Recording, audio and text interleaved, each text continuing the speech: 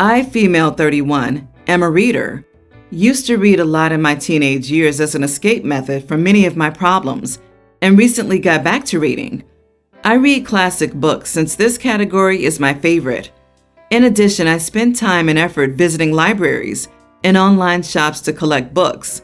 The thing is, my husband, 33, hates it when I read. We had just returned from our honeymoon two months ago, and he's been complaining about books taking our special time away, specifically at night. But I like to think that I'm balancing with my reading time. He started calling me grandma or saying I reminded him of an old lady neighbor to get me to quit reading, but it didn't budge me. A week ago, I found out that he's given my book collection away, and I was devastated after he defended himself, saying he did this for my own good and for the sake of our marriage since I seemed to forget my priorities. So I flipped out, yelled at him that those books were hard to get, and demanded he pay me and replace them right then. But he said that I really should invest my time in an outdoor hobby we could both do, but I was having none of it and demanded he replaces the books. I gave him a list of every name of every book, and when he saw it, he laughed and asked if I was really still thinking about those books and suggested I move on. But I yelled at him, telling him he had a week to replace them and that was it. He's trying to get me to let it go, and others say it was childish of me to start a fight over some books while the library's open, but they got no comment from me. Am I the idiot for expecting him to replace the books? Not the idiot. This was a power move, trying to assert control and completely jumping over boundaries. It's worrying that he did this just two, three months after you got married. Even if this was the only red flag, and outside of this, he's a wonderful human being. It's not tolerable, and he shouldn't be allowed to think that it's no big deal. Do not back down, and he needs to understand why what he did is unacceptable. He's the one who started a fight over books, and also the one who escalated it. You standing up for yourself isn't starting a fight. For real, maybe he would get more into reading if it was divorce papers. Two months and he's jealous of books? Oh, OP's own happy memories and still sees nothing wrong with it? I know we're not getting the full picture of this guy, but this is a major red flag. I'd lock away anything else he's commented on. Oh, OP, throw the husband away and replace him with more books. Your marriage is doomed. This is a much bigger issue than books. Get out now while you still have some self esteem and confidence left that he hasn't sucked out of you yet. There are plenty of men who aren't threatened by a woman who reads or pursues hobbies outside of him. Not the idiot, but I wonder how you married this person who doesn't let you have your hobbies. This isn't going to be popular, but everyone's the idiot here. Husband is definitely an idiot for doing that. I want to get that right out of the way first and foremost. In no way am I agreeing with what he did. However, OP, you admit that you use reading as an escape. And instead of taking the not so subtle hints that your husband would like some more of your attention, you choose to continue to indulge in your escapism. If this were alcohol, not a single soul would question a husband who destroys his wife's wine collection. I also wonder how open and honest communication and expectations are or were before your marriage. Was your husband aware that you intended to escape into books regularly? And how often? Long are you doing this for? Many things are going on here, and it's only barely about the property. I met a guy on a dating app. We hit it off and arranged for our first date. Things were going well. We had sat down and had started some small chat. Finally, our waitress came over asking what we wanted to order. I say what I want and gesture to him so he can order. He orders and then pulls what I think is about $15 on the table. He says, This is your tip, and every time you mess up, I take some away. The waitress looked nervous immediately. I'm sitting there a bit shocked, but mostly embarrassed because I wasn't expecting this. She must have been new because she spilled some drinks on our table that night, gave us the wrong food, and overall just seemed lost. He took away $13. I asked him why he thought doing tips this way was a good idea. He said it was the best way to ensure good service. When I disagreed, he said, can't always be nice to these people. It's not a respectable job. I decided then that I wanted nothing to do with him and called the waitress over to get the bill. I slapped a $20 bill in her hand and got up to pay for my meal. Later that night, he demanded to know why I had given her a tip, despite her poor service. And I told him it was because he decided to treat her livelihood like it was a game. He said she'd never improve her service because of me, and that I'm just a people pleaser. I blocked him, but I've wondered ever since if that was the right thing to do. Am I the idiot? Not the idiot. So he made her nervous, which likely made her service worse. Then, then, he had the absolute gall to say, Can't always be nice to these people? It's not a respectable job? What? He is using the service she provides and insulting her and all the people who share the same job. Jesus above, I'm glad you ditched the guy. I wish that $20 in her hand wasn't the only thing you slapped that night. That kind of game is only played by rude folk who do not respect those they deem below them. That poor wait staff didn't deserve to be treated like trash because of her job, because she was new. After all, she's human and not a perfectly functioning robot. Kindness is free. Everyone's the idiot here. Him for obvious reasons, and you for not getting up and walking away the moment he put that money down. He deliberately humiliated your waitress before she'd even taken his order. I don't care that you gave her $20 for her trouble, or questioned him later on, or tried to change his mind. You let him abuse her throughout an entire evening first, while you sat and had dinner with him like it was okay. You legitimized what he was doing by sitting there and sharing a meal, chatting away with him, letting her serve you, knowing that every minute that passed where you continued to be her customers, he was continuing to degrade and dehumanize her and you were enabling it. And then you come in here like you're the good one because after she spent an entire evening being dehumanized and you had your date and your meal, you finally got around to saying something. Nope, you're as much of an idiot as he is for enabling him. My girlfriend and I have been together for four years and moved in together just under a year ago. I make more money than she does, so I pay 60% of our rent and utilities, but we split things like food, internet, and most dates 50 50. However, she got laid off from her job a few months ago, so she's trying to budget more. She's looking for a job in her desired field, but is struggling to find something close to us. I've encouraged her to get a job because plenty of places near us are hiring, but she doesn't want to work retail or fast food, which I can understand. But at the same time, you can't complain about not having money when places are hiring less than a mile from our house. I'm a gamer, and like many others, I've been looking for a new Xbox for months. Last weekend, I finally lucked out and found one, so I snatched it up right away. I was at home setting it up when my girlfriend got home from running some errands, and she asked what I was doing. I told her I finally found a new Xbox, and instead of being happy, she flipped out on me. She told me it was irresponsible to spend that much money when we have to tighten our budget and asked what things we would have to go without for the next few months because of how much I spent. I told her we don't have to tighten our budget at all, just her. I told her I was doing fine for money and that she was wrong to force her money issues on me. She yelled at me that we were supposed to be a team and help each other when we were down. I told her I agreed, but that doesn't mean I have to give up things that I enjoy just because she doesn't want to work at Target or Burger King. Then I asked her how much she spent on essential oils since she lost her job. That did not help, and she started saying how that's different since those serve a purpose beyond wasting time. When she didn't give me a straight answer, I just said, So, more than I spent on the Xbox? She yelled at me that I was an idiot, and she couldn't believe I would do something so selfish when we could lose our apartment, which we won't. Even if she can't make her rent payment, I could afford to cover us for at least six months if needed. And if it goes to that point, I'd pretty much have to force her to work, since I'm not looking to support her if she's able to work but is refusing to.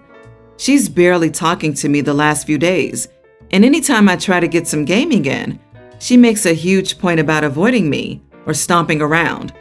I don't feel like I did anything wrong, and she's just lashing out at me because she's feeling down about herself. Not the idiot. She's not pulling her weight, and she's refusing to take any job that she deems to be beneath her. She's just taking her frustrations out on you because you have money to spend on something you've been wanting, and she doesn't. and she's stressed about it. Does she qualify for any unemployment benefits? Does she not realize that she can take a temporary job until something in her preferred field comes along? Not the idiot. Essential oils are so expensive, and the idea that they serve any meaningful purpose other than smelling nice is absolute garbage. Yes, they do smell lovely and can be very relaxing if you're stressed out. There is absolutely zero objective scientific evidence that they do anything else other than potentially poison animals and cause respiratory problems in small children, though. None. She can spend her money on what she wants, but the argument that essential oils have a use is ridiculous and unjustifiable. OP, keep that Xbox. Ditch the girl. If you're picturing a future in which you might have kids with this woman, you might want to find out now if she'd take a sick child to the doctor, or would she rely on her useful essential oils? Would she get those children meds or use essential oils? I realize I'm referring to a very stereotypical essential oils person. Still, you might save yourself some time, money, and long term heartache if you think very seriously about whether your ideals and long term goals are truly compatible. My husband, 39, and I, 37 female, have been married for eight years and have two kids. Despite the age difference, he and his sister, sister in law 31, have always been close. There's also a brother in between, who isn't relevant to this post. Sister in law is an artist who has been working full time on her art since graduating from school several years ago. I respect art and believe it can be someone's full time job, but the fact that she's never made any money off of her art, aside from selling the occasional piece to a family friend, I don't want to pass judgment on her because I'm no expert, STEM person here, but she's been trying to make it for years and years at this point and hasn't gained any traction. I don't think she'll start making money off it anytime soon. Still, she considers her art her career, and my husband is supportive of her. We own multiple pieces of hers. Her parents were fully supporting her financially until a couple of years ago when she moved in with her boyfriend who took over. She and the boyfriend broke up earlier this year, and she moved into a nice apartment funded by her parents. Unfortunately, my in laws recently passed away, suddenly and unexpectedly. It was devastating. What they left behind will support sister in law for a while, but not forever, and not in the standard of living she's accustomed to, which includes having to move out of her current apartment. Husband told me he wanted to give her money every month to keep working full time on her art and maintain her standard of living. We both, fortunately, have high paying jobs and a lot already saved for our kids, so we could easily afford it. However, I'm not too fond of the idea of supporting a non disabled adult forever who could make a living but chooses not to. I'm okay with helping her out temporarily while she starts working and figures out how to make her own living, but not forever. I don't care if she starts out at minimum wage. She just has to be doing something that will make money and start her path to independence. I did slip up and call it a real job to my husband. She and husband are both telling me I'm an idiot because if she has to work full time, she won't have time anymore for her art, and that being an artist is a real job already. He says I don't understand the sibling bond since I'm an only child. His other brother agrees with me and said it would be about time sister in law got out into the real world. Am I the idiot? Edit. Sister in law has submitted work to many galleries and tried to sell her art online via social media, etc. She's tried to sell to a larger audience than family friends slash family members, but hasn't gotten any bites. So her not selling her work widely isn't for lack of trying, unfortunately. I'm not sure if it's because she's not great at promotion or because the market doesn't want what she's selling. Not the idiot. I'm an artist, and I am working to sustain my art career on the side until it can become my full time job. My current job is slightly related to art, though. No capable adult should expect to piggyback on other people's work for the rest of their lives. That is really disgusting. Your husband is slightly idiot just because I get wanting to help out immediate family, especially since you guys are well off. But your sister in law is a massive idiot. She needs to spend a bit of time in a less affluent part of the world and become a fully formed adult, in my opinion. OMG. Tell your husband you'll be quitting your high paying job to be an artist. He'll have to provide for the family 100%, and won't be taking on any additional childcare or household duties because, after all, your art is a full time job. See if he thinks it's still a real job. LOL, OMG. I love this.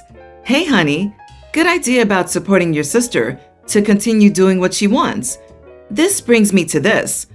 I've decided just to stay home and make quilts and sell on Etsy or at local fairs. This is going to be so much fun.